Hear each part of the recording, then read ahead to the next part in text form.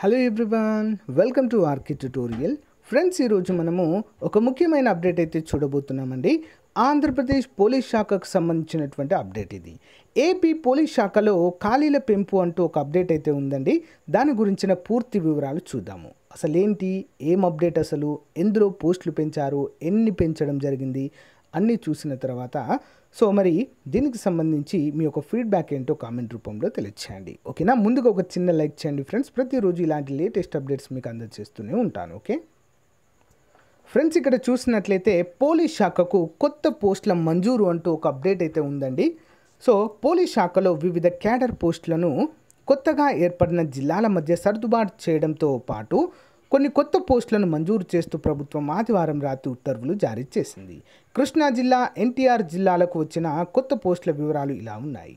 Vijayawada police కమిషనరేట్కు ఏ ADCP స్థాయి అధికారులు సరిపడా ఉన్నారు. అదనంగా రెండు ఏసీపీ పోస్టులను మంజూరు చేశారు.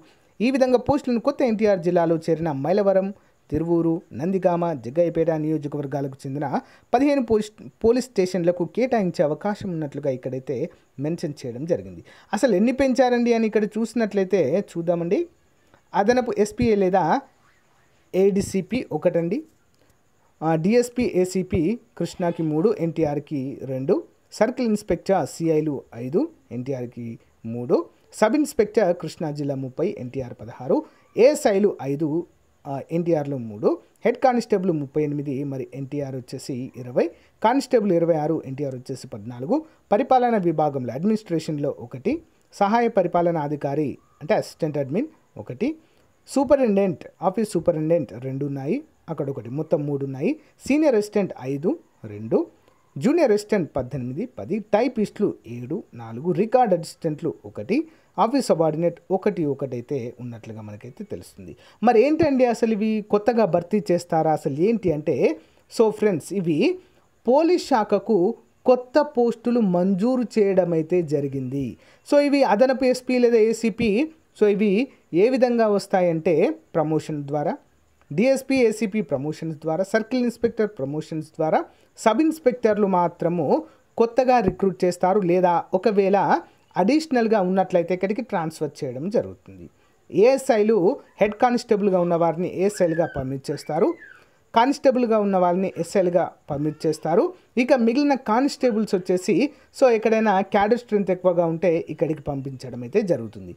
ఒకవేళ మరీ అర్జెంట్ రిక్వైర్మెంట్ ఉన్నట్లయితే ఇంకా కొన్ని ఏమైనా మిగిలిన పోస్టులు అంటే ప్రమోషన్స్ ద్వారా ఇచ్చినవి కాకుండా ఇంకా రిమైనింగ్ ఏమైనా మిగిలినట్లయితే నెక్స్ట్ నోటిఫికేషన్లో యాడ్ చేస్తారు ఫ్రెండ్స్. అంటే ఇక్కడ మనం అర్థం చేసుకోవాల్సింది ఏంటి? సో ఏ మాత్రం కూడా పోస్టులు పెరగలేదు. అందరు కూడా గమనించాలి. పెరగడం అంటే ఒకటి రెండు కాదు కదా అండి? ఓకేనా? వందల సంఖ్యలో పెరిగితేనే అవి పోస్టులుగా చెప్పుకోవచ్చు. ఇవేంటి అంటే కొత్త జిల్లాలు ఏర్పడినటువంటి సమయంలో అక్కడైతే లా అండ్ ఆర్డర్ని కంట్రోల్ చేయడానికి కొంత సిబ్బంది అనేది అవసరము. కాబట్టి మరి ఇక్కడైతే ఈ యొక్క ఎన్టీఆర్ మరియు కృష్ణా జిల్లాలకు గాను ఈ యొక్క సిబ్బంది తక్కువగా ఉన్నారు. సో కాబట్టి వేరే దగ్గర నుంచి ఇక్కడికి తీసుకొచ్చుకోవడం లేదా నెక్స్ట్ వచ్చే నోటిఫికేషన్లో వీటిని అయితే అవి కూడా కొన్ని అండి. ఒక కానిస్టేబుల్ ఎస్ఐలు మాత్రమే సో మరి డైరెక్ట్ రిక్రూట్మెంట్ ద్వారా వచ్చేటువంటి అవకాశం ఉంది. రిమైనింగ్ ఏంటి అండి మరి? రిమైనింగ్ ఇవన్నీ కూడా సో మెయిన్గా పై స్థాయిలో అదనపు ఎస్పీ కావచ్చు ఏడీసీపీ కావచ్చు డిఎస్పీ కావచ్చు సిఐలు కావచ్చు ఈ మూడు క్యాడర్లు మాత్రము అవి ప్రమోషన్స్ ద్వారానే ఇక్కడికైతే వస్తారండి. కంపల్సరిగా. ఓకేనా? సో మరి ఇదండి అప్డేట్. అందరూ కూడా గమనించాలి. ఇవేదో కొత్తగా పెరిగినట్లు కాదండి. పోలీస్ శాఖలో ఇవేంటి అంటే ఆ జిల్లాలలో కొరతగా ఉన్నటువంటి సిబ్బంది. సో మరి ఈ యొక్క శాఖలకు కొత్తగా మంజూరు చేసినటువంటి పోస్టులు. ఓకేనా? ముందే చెప్పాను కదండి. ఒకవేళ ఇవి కనుక మనకు ఇక్కడ లేనట్లయితే సర్దుబాటు కానట్లయితేనే నెక్స్ట్ నోటిఫికేషన్లో ఇస్తారు లేదా? సో వీటిని ఇవ్వకపోవచ్చు. ఓకేనా? సో ఇదండి మరి ఈ రోజుకు సంబంధించిన అప్డేట్స్ మరి నెక్స్ట్ వచ్చేటువంటి ఆరు వేల ఐదు వందల ఉద్యోగాలకు సంబంధించి అప్డేట్ అయితే ఏమాత్రం కూడా లేదండి. అందరూ కూడా గమనించాలి. థ్యాంక్ యూ దీనిపైన మీ యొక్క అప్డేట్ ఏంటో కామెంట్ రూపంలో తెలియచేయండి. Thank you bye